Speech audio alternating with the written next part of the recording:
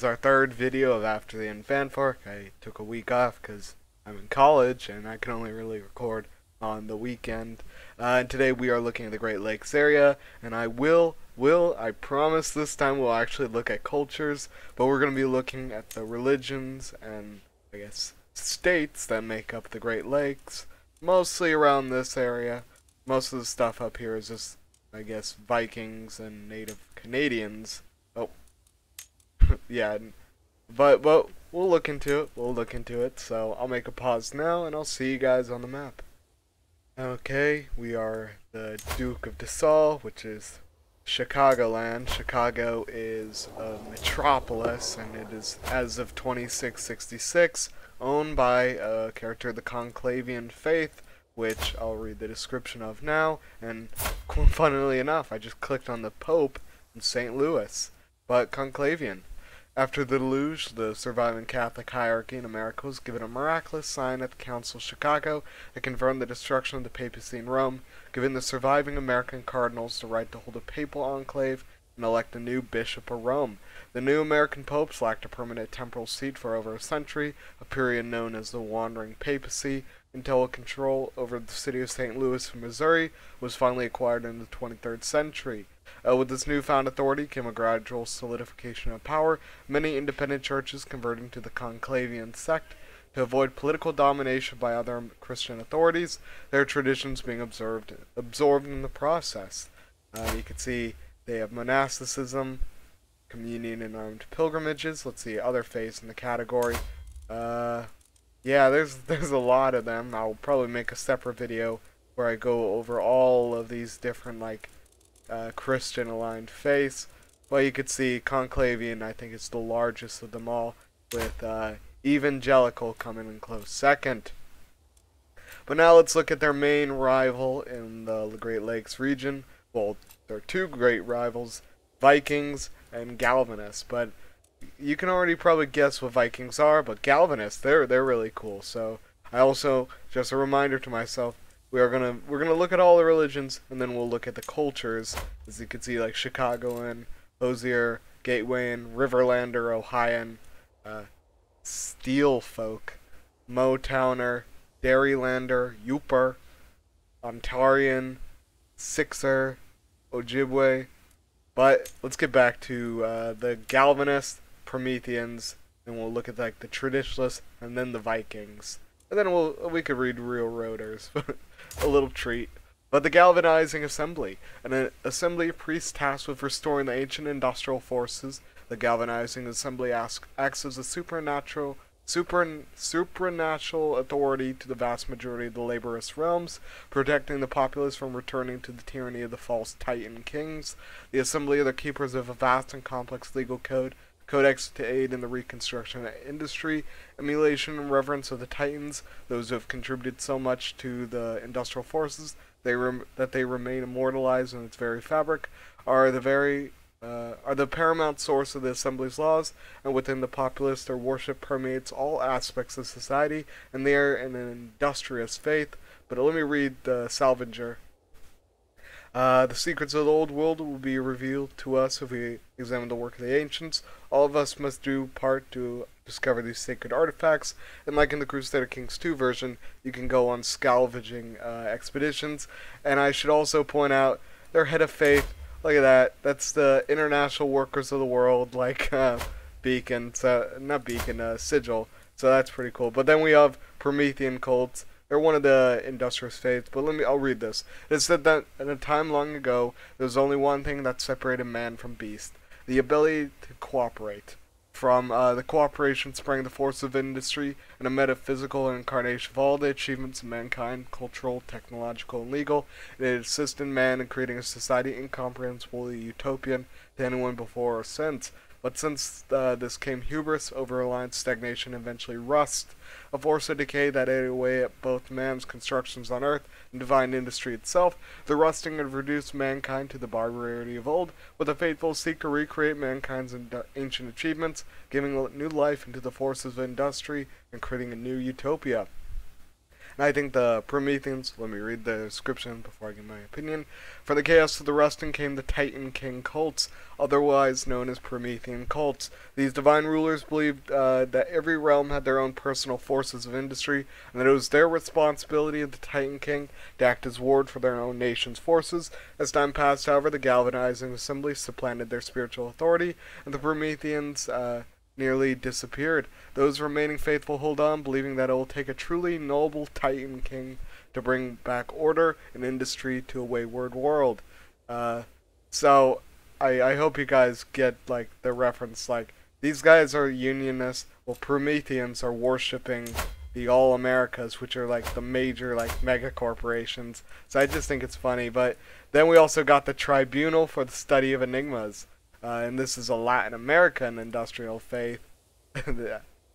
yeah, they're in Mexico. That's pretty cool. But um, and Enigmatos believed that before the Gran Apagón, uh, mankind was ruled by a small elite of scientificos who learned through ingenuity the ancient enigmas of the world that granted them um, immense power, the ability to create a subservient race of golems that made mankind's lives easier much longer. After the Gran Apagón, ingenuity was severely weakened, knowledge of the enigmas was lost, and the golems quickly died off.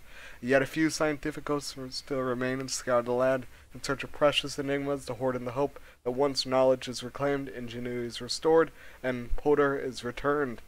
Uh, and then we have the school sustainment. Um, in sharp contrast to the rest of industrial industrial sects, the school of sustained glory believes the forces industry to be more analogous to uh, parasites, a horrible construction who fed off both nature and the souls of men under the guise of assisting in the glorious work until they wither away and rusted. They now seek to recreate the wonders of the world without feeding the industrial forces that caused its destruction. In order to do this, they study extensively from the people known as the masters. People knew the of the danger of giving in to the lies of industry, yet were unfortunately disregarded in their time, and they have united in labor. Those who toil in the same profession are brothers and sisters in labors. Uh, in labor, this relationship should serve as the foundation for communities and faith. So I think these guys might be like. Uh, like industrial workers of the world. But then we have the Innovatus and walking metamorph- metamorphosis. The living titan is their their head of faith. Uh, the lifeblood of industry never rested upon the whims of kings or councils, but by the spirit of ambitious individuals, fueled by the great compulsion to change the world that few can match. At least that is what the innovator Taurus movement attests, the idea that one is born with titanhood rather than achieving it runs counter to Promethean and Galvanist thought, but has allowed many charismatic leaders to challenge the authority of these old institutions. And then liberty or death, auspicious birthright, and then walking metamorphoses. Remaining the same way is fundamentally inhuman, true believers should change their focuses and views with frequency. It is thus better to always change them to have a permanent opinion about everything okay, that's a little little boring, honestly. I thought that it was gonna be like like cyber cult. Uh, there was something like that in the Crusader Kings 2 version, or I might like uh, like attributed it, but nevertheless, let's get on to Viking, and they're the only group in the Norse faith. Uh, stemming from the far north are the practices of the Northmen, in particular, the Viking faith of the Norse people, with a claim on broken lineage with a claimed unbroken lineage descending from old gods to new, and from the pre-event world to a post-Ragnarok one. The North Norse faithful for long a flourish in the Phrygian North, nor on the waterways of the Great Lakes in old America. But the Vikings believed that in the time of old, uh, time of the old gods has come again. According to the Vikings, most of humanity perished in the darkness of Ragnarok, along with the false gods of ancient America and many of the old gods, including Odin and Thor. Thor sacrificed him to protect the last of humanity, but in the middle of miracles he rose from the dead, ending Ragnarok. Thor now leads the surviving gods in the post-Ragnarok age. However, the dead gods are not truly gone. The restless spirits uh, sometimes return to roam the earth alongside man. The followers of the Thunder will be protected from the dead god, just as they were protected during Ragnarok. And let's see their special attendant. They don't have one. But their warmonger, they practice human sacrifice and ancestor worship and their holy sites. A lot of the religions have Chicago. That's I might have said this at the start of my video, but Chicago is like the Jerusalem stand in this world. Like it is a very, very, very important city. In fact, it's probably even more valuable than Jerusalem itself because it sits at the like the mouth of the Mississippi and feeds right into the Great Lakes, a massive, massive area of trade. So let's look at real roaders, and then let's finally get into the into the cultures. I know I forgot it last time. Real Road lies at the heart of the traditional trail walker lands in the, in the great prairies and mountains in the American West. They take their name from the Great Iron Trail that once drove across it, uniting the lands from the Silver to the Golden Great. Golden Gate. Um, it's such a little paragraph and I messed it up, but blessings from the barons. These unforgiving landscapes are home to divine secrets re- reserved for those wise enough to pay them for their deserved reverence. And it uh, reduces attrition, which is pretty fucking excellent. But now, let's look at culture. We got Chicago and their culinary artists, uh, industrious cosmopolitan elitism, iron tongue. Let's see, uh, iron tongue, uh, plain speak, shore speak, shore speak, shore speak, iron tongue. Let's see, uh, backcountry, backcountry. We'll, I'll probably make a separate video talking about Appalachia because they're really really cool, especially um like the the, the new uh, revelationist face. They are very very cool, but I'll say that for a future video. But let's look some more into the cultures. Hoosier, sacred hunts, warrior culture, performative honor. Uh, let's also look at the innovations. So there's the rusted age. Uh, uh, then we have, oh yeah, reserve forces, the draft. Now the silver age, suburb, horseshoes, special forces, sheriffs, executive privilege, and closed helmets. And uh, you get the picket line. Oh, that that's another cool thing that I remember picket lines is like the unions like striking, haciendas, coinage, wills and testament. Then the Gilded Age, uh, let's see, unions, which I think are the like the like standard for guilds, the guild invention. Then we have uh, the Golden Age, National Armory, Corps of Engineers.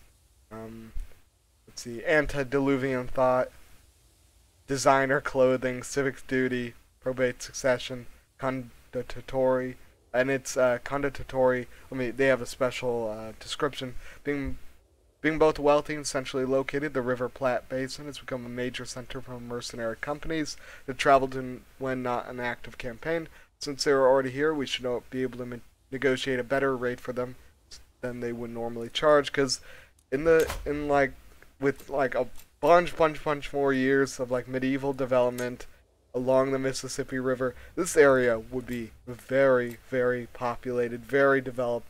A lot of like rivers.